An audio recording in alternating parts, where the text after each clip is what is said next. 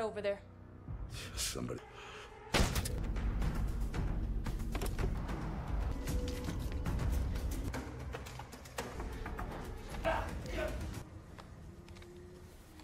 Halo Sobat Movie di mana pun kalian berada. Berjumpa lagi dengan channel Ocha Film yang pastinya selalu setia untuk berbagi alur cerita. Tentunya Mimin akan membahas alur cerita movie yang sangat menarik dan kali ini kita akan kupas tuntas cerita movie berjudul The Last Deal. Pengedar ganja di pasar gelap Vincent menjalani kehidupan mewah di Los Angeles namun segalanya berubah ketika undang-undang baru disahkan yang menjadikan ganja legal. Dengan terbatasnya izin apotek yang tersedia, Vincent mungkin akan tersingkir dari bisnisnya dan dia sangat ingin mendapatkan satu skor akhir tapi meminjam uang dari orang yang salah. Gimana? Penasaran kan? Yuk simak sampai akhir. Ini dia alur ceritanya. Cerita awal diperlihatkan sosok pengusaha sukses di California yang bernama Vincent. Pada awalnya, bisnis obat terlarang yang dikerjakannya masih dalam proses merintis. Bahkan di industri hanya menghasilkan uang 200 miliar dolar. Namun lama-kelamaan, obat terlarang semakin banyak digemari dan laku keras apabila diperjualbelikan. Kemudian pada tahun 2015 di Los Angeles, Vincent memiliki apotik, artinya dia bebas berjualan obat terlarang. Hanya saja pemerintahan California mengetahuinya penjualan obat terlarang yang dilakukan Vincent. Namun tetap saja California adalah tempat yang bebas sehingga legal saja memperjualkan obat terlarang. Akan tetapi, mereka mengganti sebutan obat terlarang dengan tanaman pada proses bisnis. Setelahnya, Vincent berkunjung bertemu dengan Franco. Faktanya, Franco merupakan rekan yang menggeluti dunia yang sama dengan Vincent. Hal tersebut membuat Vincent bersemangat berbisnis dengannya. Setelahnya Vincent pun mengerjakan tugasnya mengantarkan barang dagangannya ke toko-toko. Alhasil dengan cara itu Vincent ketemu jodoh yaitu Tabita. Dikarenakan begitu banyak yang memesan dengan Vincent, dia sampai mempekerjakan kurir. Hanya saja, orang yang boleh membeli tanaman Vincent harus memiliki KTP. Meskipun menjual barang psikotropika, namun Vincent harus tetap menaati hukum. Kemudian, Vincent pun melanjutkan perjalanannya mengantar barang menggunakan pesawat pribadi. Namun yang mengendarai adalah sang teman, alhasil Vincent beraksi sebelum jam 9 pagi dikarenakan usaha mereka dalam beberapa tahun terakhir berkembang, Vincent pun sukses besar. Sehingga dia dan temannya tak menyangka akan mendapatkan keuntungan bisnis yang sehebat ini. Ketika sampai, Vincent dan rekannya melancarkan aksinya untuk melakukan transaksi tanaman dan setelah menerima keuntungan, Vincent berangkat pulang sehingga dia berpisah dari temannya dan melakukan bisnis lagi. Alhasil, Vincent telah merekrut anggota baru yaitu Bobby.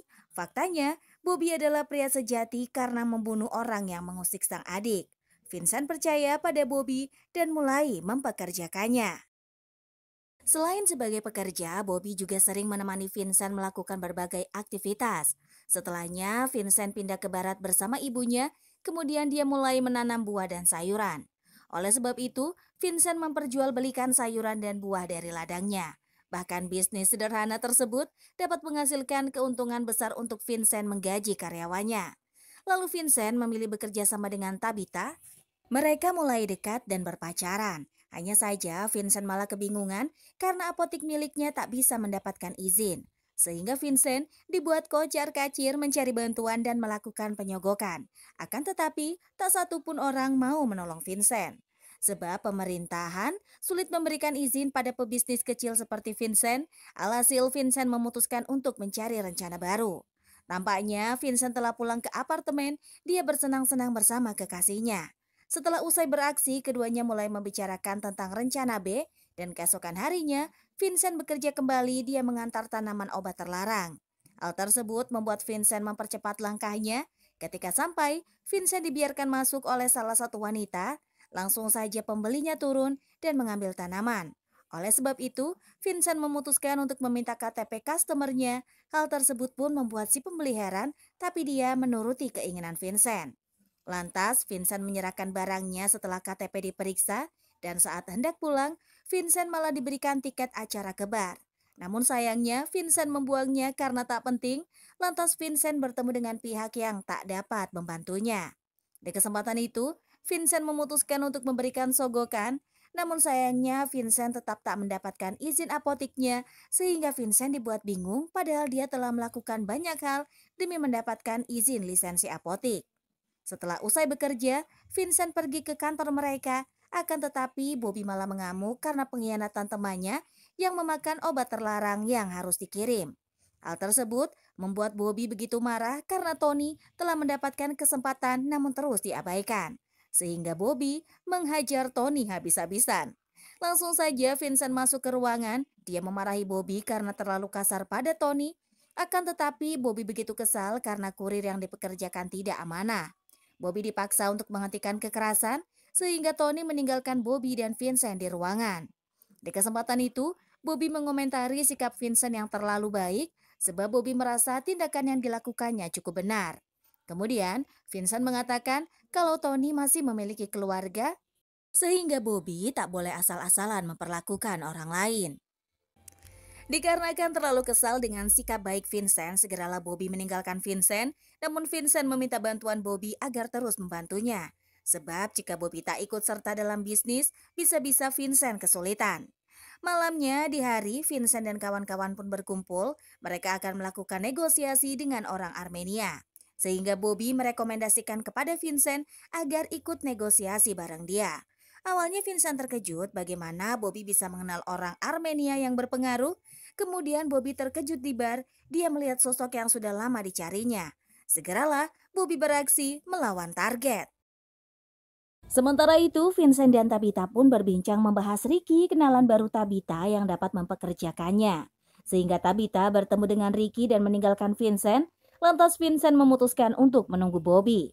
Sontak saja, Vincent terkejut melihat Bobby yang sedang melawan seseorang. Di kesempatan itu, Bobby menyerahkan orang yang digunakannya untuk menikah musuh kepada Vincent. Vincent membuangnya untuk menghilangkan barang bukti, sehingga Vincent ketemu Tabita, mereka akan berangkat pulang. Sedangkan Bobby pamit duluan, dia akan mengabari Vincent besok mengenai orang Armenia yang dapat membantu mereka.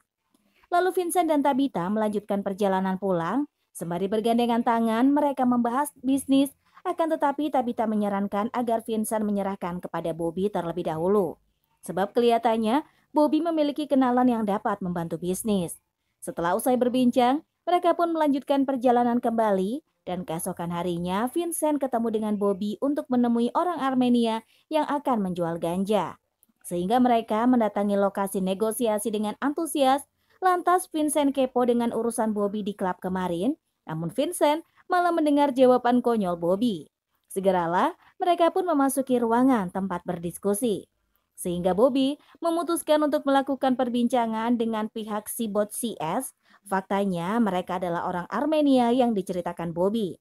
Lantas Vincent ditawarkan obat terlarang sekitar 90 kg karena mereka tak jual dengan jumlah yang kecil namun harus pas 90 kg. Hal tersebut membuat Vincent terkejut sehingga Vincent menanyakan kepada si bot mengenai harga, namun karena Vincent gak cocok, dia menjadi bingung. Sebab Vincent tak memiliki uang sebanyak itu untuk membeli barang yang dijual si bot. Alhasil, Vincent merasa kesepakatan yang dikerjakan konyol, lalu Vincent memutuskan untuk meninggalkan ruangan.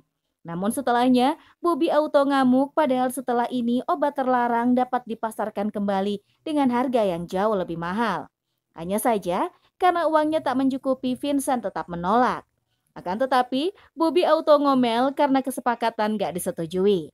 Padahal Vincent tak ingin mendapatkan kesulitan dengan meminjam uang untuk bisnis, namun sayangnya Bobby terus memaksanya dan meminta Vincent mengikutinya meminjam uang kepada sosok yang penting. Oleh sebab itu, Vincent memutuskan untuk memikirkan kembali perkataan Bobby dan segeralah Vincent mencari informasi di internet mengenai modal pinjaman. Sehingga Vincent memutuskan untuk menelusuri internet, namun sayangnya Vincent malah gagal, dia frustasi dengan kebangkrutan mereka. Apalagi sekarang Vincent butuh uang demi menghidupkan bisnis kembali, karena frustasi Vincent pun meminta bantuan Bobby mempertemukannya dengan bos. Faktanya, bos begitu berbahaya, namun Vincent tetap penasaran dan ingin menempuh jalur berbahaya itu. Kemudian, Vincent dan Bobby pun melakukan pertemuan untuk meminjam uang di kesempatan itu, Vincent segera beraksi melancarkan aksinya bersama Bobby. Langsung saja, mereka ketemu dengan gengnya bos dan segeralah Vincent meminta bantuan pinjaman. Alhasil, mereka harus memikirkan kembali mengenai permintaan Vincent. Setelah pengajuan selesai, Vincent dan Bobby pergi meninggalkan negosiasi. Keesokan harinya, Vincent mendapatkan kabar bahwa dia diberikan pinjaman uang untuk modal usaha obat terlarangnya. Sehingga Vincent begitu bersemangat mengajak Bobby berangkat. Tak lama mereka telah sampai dan melakukan perjanjian. Malamnya mereka lanjut ke TKP untuk melanjutkan misi. Langsung saja barang panas yang akan diproses Vincent dibawa ke truk. Kemudian Vincent dan Bobby pun menitipkan ke kedai teman mereka yaitu Franco. Namun sewaktu selesai bertransaksi, mereka merasa diikuti. Sehingga Bobby pun memutuskan untuk mengajak Vincent pulang sebab pada hari esoknya mereka akan mengambil barang untuk diantarkan. Paginya, Vincent bergegas bangun, dia segera pergi ke lokasi. Namun sayangnya, Vincent kehilangan truk karena dicuri seseorang. Di kesempatan itu, Vincent segera meminta Franco mengecek CCTV, akan tetapi pencuri yang dilihat sama sekali tak dapat dikenali. Sementara Vincent masih menunggu Bobby yang tak kunjung datang, akan tetapi Vincent sudah tak sabaran, dia pun segera menelusuri rumah Bobby. Namun sayangnya, Bobby tak ada di rumah membuat Vincent khawatir sebab sekarang mereka sedang mengalami krisis sehingga Vincent harus menemukan Bobby untuk membantunya menemukan pencuri. Di kesempatan itu, Vincent mulai menggeledah di rumah Bobby, hanya saja para wanita yang bermunculan bukannya si Bobby. Akan tetapi, semua orang tak mengetahui keberadaan si Bobby. Kemudian Vincent pun melanjutkan perjalanan, dia kebingungan mencari solusinya, lantas Vincent menghubungi pihak bos untuk menemukan solusi. Oleh sebab itu, Vincent berharap kalau bos akan membantunya mencari Bobby. Ketika sampai di lokasi, Vincent segera bertemu bos dan anggotanya, dan di kesempatan itu Vincent menginfokan tentang hilangnya barang panas dan juga Bobby. Sehingga bos terkejut karena Vincent pasti nggak bisa bayar hutangnya. Lalu Vincent menjawab, dia pasti membayar hutang, namun tetap saja Vincent harus mempunyai tabungan. Bukannya bantuan yang didapat, Vincent malah mendapatkan kecaman jika tak mampu membayar hutang. Lantas bos memberi kesepakatan untuk membunuh Bobby sehingga Vincent bisa melakukan kontrak ulang atau perpanjangan. Sontak saja, Vincent auto kaget karena Bobby malah dicurigai oleh bos dan kawan-kawan. Vincent berkata mustahil Bobby melakukan tindakan selicik itu. Langsung saja, Vincent melakukan pencarian terhadap temannya. Tak lama, Vincent berhasil menemukan Bobby, tapi Bobby malah memiliki kabar buruk. Di kesempatan itu, Bobby memberi info bahwasannya dia diincar oleh geng bos, makanya Vincent harus berpura-pura tak menemui Bobby. Sehingga Vincent dijemput oleh geng bos dan di kesempatan itu, Vincent memilih untuk tetap diam dan membiarkan Bobby. Lantas Bobby mengatakan dia akan mengurus sendirian dan menemui bos tanpa bantuan Vincent. Sebab kalau Vincent terlibat, dia akan mendapatkan gangguan. Kemudian, saat kembali, Vincent mengetahui kalau Tabita hamil, Vincent malah semakin stres tapi dia tak memperlihatkannya.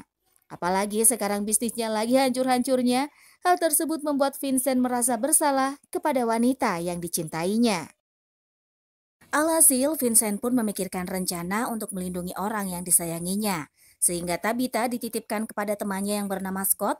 Bahkan Scott telah banyak membantu Vincent membuat dia semakin percaya. Di kesempatan itu, Vincent menyerahkan Tabita kepada Scott. Setelah menyelesaikan urusan, Vincent melanjutkan pekerjaannya kembali. Kemudian, Vincent malah diajak oleh geng bos melakukan perjalanan.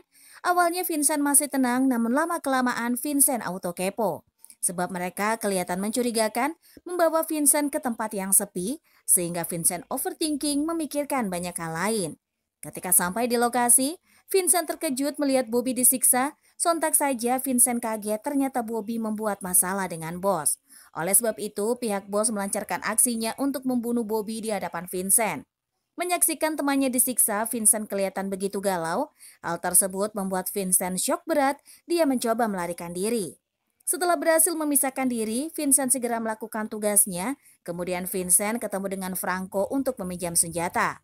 Padahal sebelumnya, Vincent telah mendapatkan uang dari Franco agar bisa membayar pinjaman.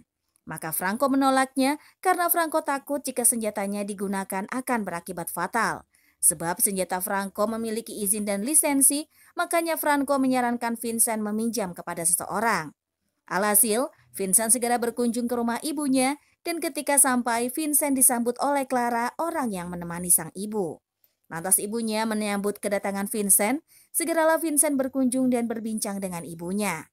Setelah tahu Vincent punya pacar membuat Clara galau, kemudian Vincent diinterogasi sang ibu. Sebab ibunya takut, Vincent melakukan hal yang sama seperti ayahnya.